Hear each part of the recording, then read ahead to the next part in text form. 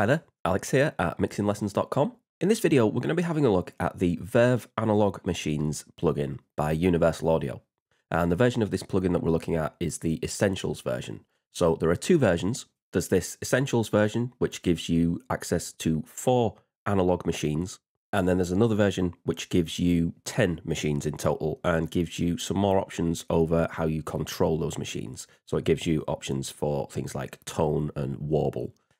With this Essentials version, it's a little bit more simple. We just have one control, we have a drive control, and we have four different analog machines which we can use to add some analog character to our mixes. Now, the Essentials version of this plugin is free until the end of April. So, at the time that this video goes up, you've got a couple of days to go and get this plugin completely for free from Universal Audio's website. And I'll leave a link to that in the description. Okay, so as you can see here, this plugin gives us access to one tape machine called Sweeten, another called Warm, Thicken, and Vintageize. So what we'll do is we'll go through each one and have a listen and see what kind of character you could add to your tracks using each of these settings. So we'll start with Sweeten, and I've got this plugin loaded onto the main channel in the mix. So this is applying this tape machine to the entire mix. We'll start with the tape machine turned off and we'll listen a little bit and then I'll turn it on.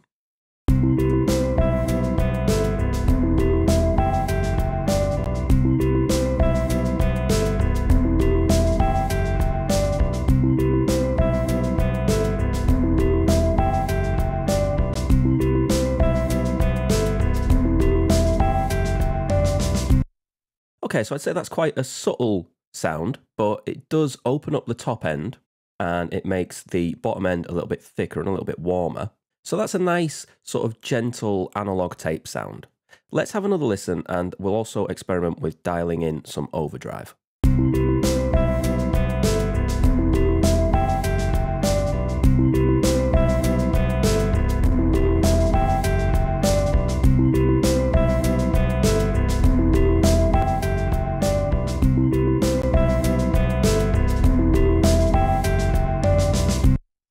I think that does a really nice job of adding a little bit of tape character. There's a little bit of saturation there. And as I say, definitely a more open top end and a little bit of a warmer bottom end.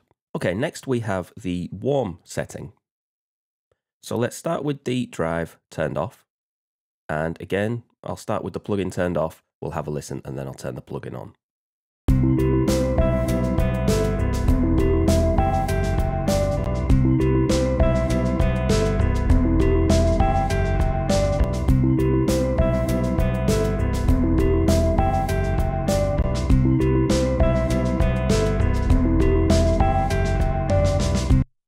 Okay, so a little bit less subtle that time. Uh, things definitely sound warmer. Uh, they sound a lot darker to me. There's definitely less high end going on now. And I think that sounds really good. Let's play it again and let's have a look at dialing in some drive.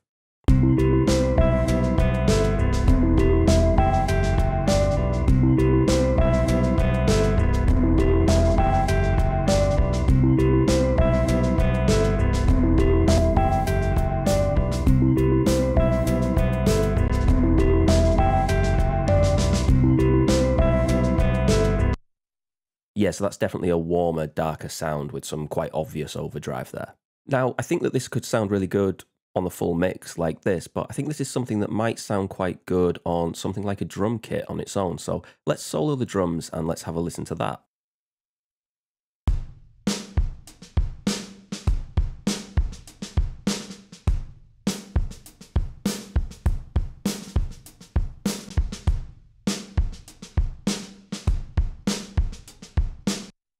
Yeah, I think that sounds really good. It thickens the drums up a little bit. It takes away some of that top end. And I think this is an instance where this could sound really good using this just on an individual instrument. Okay, next we have the thicken setting. Once again, we'll start with the drive turned off and we'll start with the whole plugin off. And we'll take the drums out of solo as well and listen to the full mix.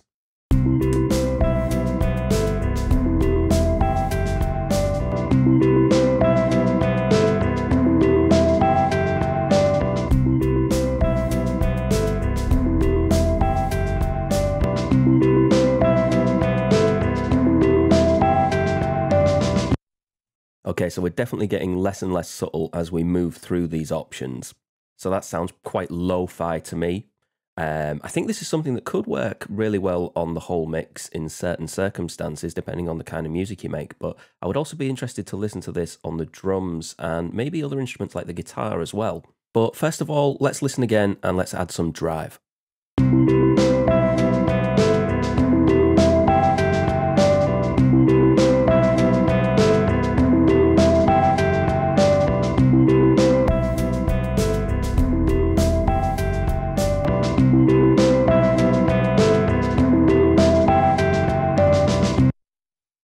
Definitely not a subtle setting, but this could work really, really well if you wanted to use it as an effect in your mix.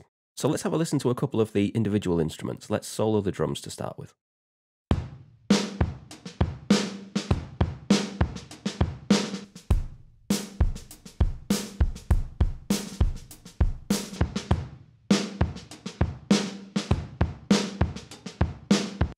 I think that sounds really good. Let's check it out on the guitar as well.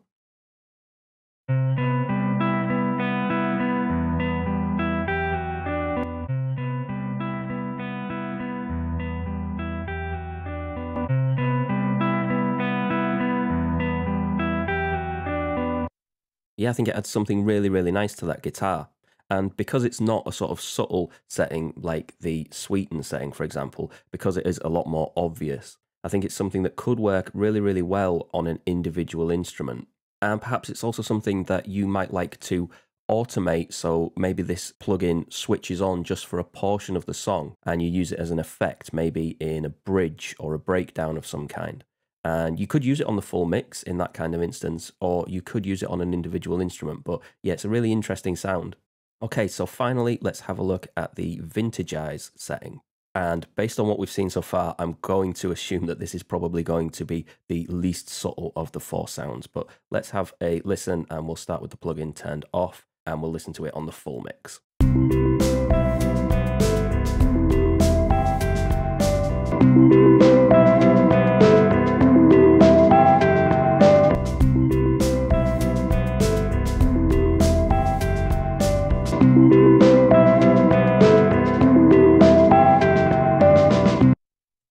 Yeah, as expected, definitely not a subtle sound. It's very lo-fi, but it creates a really interesting and unique effect. Once again, let's have a quick listen with some drive added.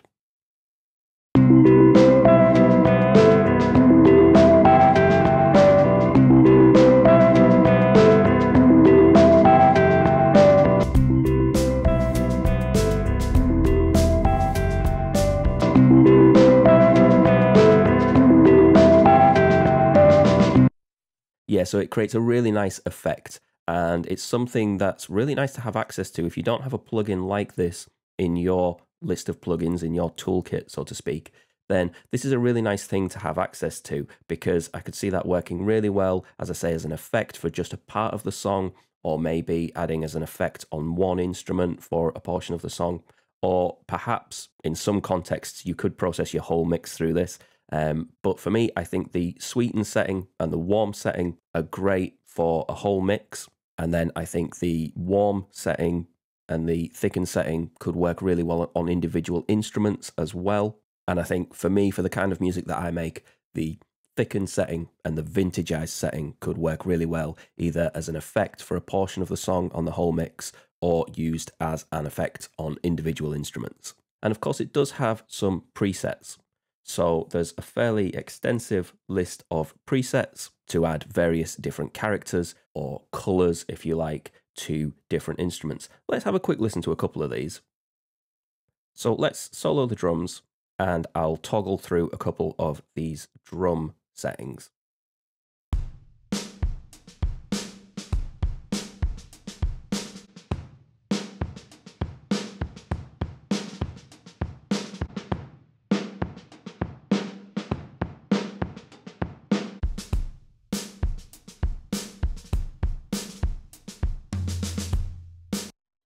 Yeah, so I think that gives you quite a good insight there, actually, into the range of different characters that you can get from this plugin, right from the sort of quite obvious effects that you can get at this end through to the kind of warmer, fatter sound from a tape machine that you can get at this end. So yeah, I think it's a great little plugin.